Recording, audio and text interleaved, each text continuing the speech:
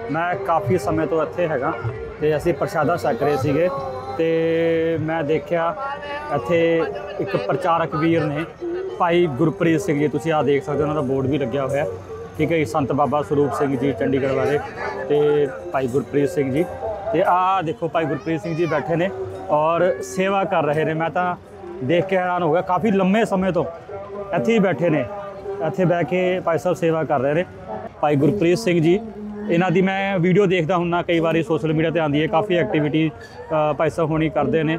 ਸੋ ਅੱਜ ਇਹਨਾਂ ਨਾਲ ਮੁਲਾਕਾਤ ਕਰਨ ਦਾ ਮੌਕਾ ਮਿਲਿਆ ਤੇ ਇਹਨਾਂ ਦੀ ਸੇਵਾ ਦੇਖ ਕੇ ਮੈਂ ਹੈਰਾਨ ਹੋਇਆ। ਮੈਂ ਕਿਹਾ, ਭਾਈ, ਦੇਖੋ, ਨਿਮਰਤਾ ਦੇਖੋ ਭਾਈ ਸਾਹਿਬ ਜੀ ਤੁਸੀਂ, ਕਿਵੇਂ ਸੇਵਾ ਕਰ ਰਹੇ ਨੇ।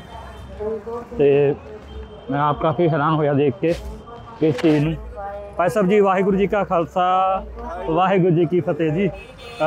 ਮੈਂ ਮੰਗਲ ਸਿੰਘ ਜੀ, ਕੌਮੀ ਸੋਚ ਚੈਨਲ ਤੋਂ ਮੈਂ ਮੰਗਲ ਸਿੰਘ ਜੀ ਕੌਮੀ ਸੋਚ ਚੈਨਲ ਤੋਂ। ਤੇ ਮੈਂ ਆਪ ਜੀ ਦੀ ਅੱਜ ਸੇਵਾ ਦੇਖ ਕੇ ਹੈਰਾਨ ਹੋ ਗਿਆ। ਮੈਂ ਕਾਫੀ ਸਮੇਂ ਤੋਂ ਪ੍ਰਸ਼ਾਦਾ ਛਕ ਰਿਹਾ ਸੀਗਾ। ਮੈਂ ਪ੍ਰਚਾਰਕ ਦੇਖੇ ਨੇ।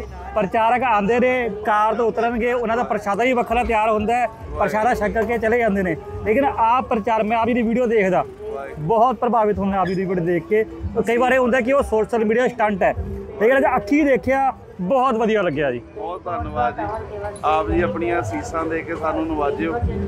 ਸਾਹਿਬਜ਼ਾਦੇ ਜਿਹੜੇ ਆ ਜੀ ਮੈਂ ਮੈਂ ਮਾਈਕ ਦਿੰਦਾ ਭਾਈ ਸਾਹਿਬ ਜੀ ਮਾਈਕ ਤੇ ਸਾਨੂੰ ਥੋੜਾ ਜਿਹਾ ਜ਼ਰੂਰ ਦੱਸੋ ਇੱਕ ਮਿੰਟ। ਸਭ ਤੋਂ ਪਹਿਲਾਂ ਕੌਮੀ ਸੋਚ ਚੈਨਲ ਵਾਲੇ ਮੇਰੇ ਬਹੁਤ ਪਿਆਰ ਵਾਲੇ ਵੀਰ ਉਹਨਾਂ ਨੂੰ ਸਾਰੀ ਸੰਗਤਾਂ ਨੂੰ ਵਾਹਿਗੁਰੂ ਜੀ ਕਾ ਖਾਲਸਾ ਵਾਹਿਗੁਰੂ ਜੀ ਕੀ ਫਤਿਹ। ਆਪ ਜੀ ਨੂੰ ਫਤਿਹਗੜ੍ਹ ਸਾਹਿਬ ਦੇ ਦਰਸ਼ਨ ਕਰਾ ਰਹੇ ਆ। ਆਪਣੇ ਬੱਚਿਆਂ ਨੂੰ ਸਾਨੂੰ ਸਾਹਿਬਜ਼ਾਦਿਆਂ ਨੂੰ ਯਾਦ ਦਿਲਾਉਣਾ ਚਾਹੀਦਾ ਵੀ ਅੱਜ 10 ਪੋ ਹੋ ਗਈ ਆ। ਜੀ। ਅੱਜ ਦੇ ਦਿਨ ਸਾਹਿਬਜ਼ਾਦਿਆਂ ਨੇ ਕੋਤਵਾਲੀ ਦੀ ਰਾਤ ਤੋਂ ਠੰਡੇ ਬੁਰਜ ਨੂੰ ਜਾਣਾ 10 11 12 3 ਦਿਨ ਫਿਰ 13 ਪੋਹ ਨੂੰ ਸ਼ਹੀਦੀ ਹੋਈ। ਜੀ ਜੀ। ਪਰ ਭਾਈ ਸਾਹਿਬ ਜੀ ਨੇ ਮਾਣ ਦਿੱਤਾ ਅਸੀਂ ਚਾਹੁੰਦੇ ਨਹੀਂ ਸੀ ਵੀਡੀਓ ਬਣਾਉਣ ਸਾਡੀ। ਨਹੀਂ ਮੇਰੇ ਦਿਲ ਦੀ ਤਾਂਗ ਸੀ ਜੀ ਮੈਂ ਅੱਜ ਦੇਖ ਕੇ ਹੈਰਾਨ ਕਿਉਂਕਿ ਮੈਂ ਕਾਫੀ ਲੰਮੇ ਸਮੇਂ ਤੋਂ ਨੋਟ ਕਰਦਾ ਆ ਰਿਹਾ ਆਪ ਜੀ ਨੂੰ ਕਿ ਭਾਈ ਸਾਹਿਬ ਇੱਥੇ ਹੀ ਬੈਠੇ ਨੇ ਸੰਗਤਾਂ ਦੇ ਚਰਨਾਂ ਵੀ ਉਹਨਾਂ ਜੋੜੇ ਝਾੜ ਰਹੇ ਨੇ ਮੈਂ ਕਿਹਾ ਵਾਹ ਇਹ ਹੁੰਦੇ ਨੇ ਪ੍ਰਚਾਰਕ ਜੀ ਅਸਲ ਦੇ ਵਿੱਚ। ਨਹੀਂ ਇਹ ਗੁਰੂ ਸਾਹਿਬ ਜੀ ਦੀ ਵਡਿਆਈ ਹੈ ਇਹੀ ਪ੍ਰਚਾਰਕਾਂ ਦੇ ਚਰਨ ਧੂੜੀ ਵਰਗੇ ਵੀ ਨੇ ਜਿਵੇਂ ਗਿਆਨੀ ਪਿੰਦਰਪਾਲ ਸਿੰਘ ਹੋਣੇ ਆ। ਜੀ। ਗੁਰੂ ਰਾਮਦਾਸ ਜੀ ਦੇ ਦਰ ਘਰ 21 ਦਿਨ ਰਹਿ ਕੇ ਗੁਪਤ ਦੁਪਹਿਰੇ ਸੇਵਾ ਕਰਦੇ ਆ। ਜੀ। ਇੱਥੋਂ ਹੀ ਸਭ ਕੁਝ ਲੈ ਕੇ ਜਾਣਾ। ਜੀ। ਮਾਤਾ ਗੁਜਰ ਕੌਰ ਜੀ ਅੱਜ ਕਿਤੇ ਗਏ ਨਹੀਂ।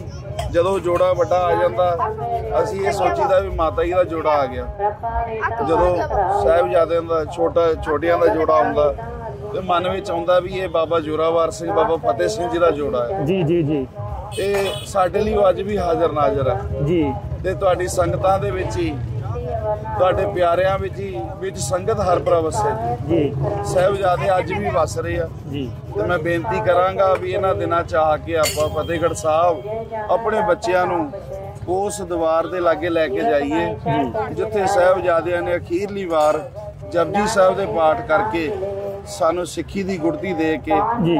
ਜੀਵਨ ਜਾਚ ਦਿੱਤੀ ਹੈ। ਜੀ। ਵੈਸੇ ਇੱਕ ਮੈਂ ਜ਼ਰੂਰ ਆਪ ਜੀ ਦੇ ਵਿਚਾਰ ਆਪ ਜੀ ਚਾਹਾਂਗਾ ਜ਼ਰੂਰ ਆਪ ਜੀ ਦੱਸੋ ਜੀ। ਇੱਕ ਕਹਿੰਦੇ ਜੋੜ ਮੇਲਾ ਕਿਹਾ ਜਾਂਦਾ ਹੈ।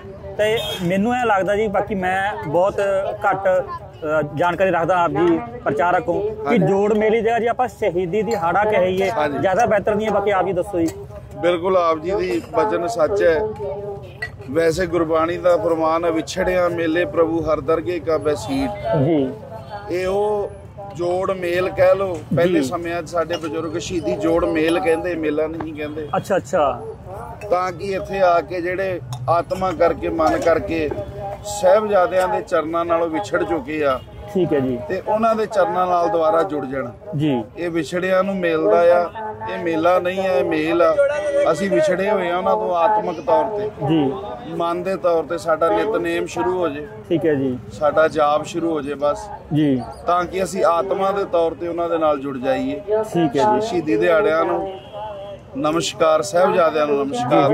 ਆਪ ਜੀ ਦਾ ਚੈਨਲ ਦਾ ਬੜਾ ਧੰਨਵਾਦ। ਧੰਨਵਾਦ ਸਾਹਿਬ ਆਪ ਜੀ ਦਾ ਬਹੁਤ